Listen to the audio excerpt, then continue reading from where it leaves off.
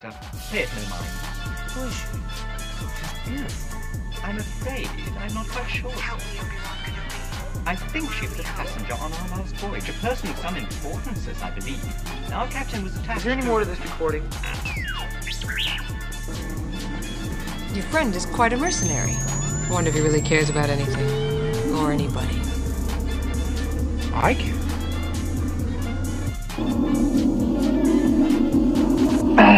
So, what do you think of her, huh? Trying not to, kid. Good.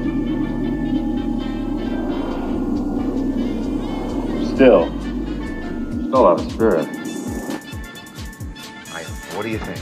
You think a princess and a guy like me? No.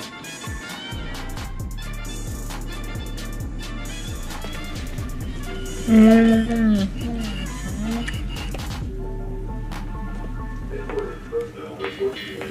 i don't you.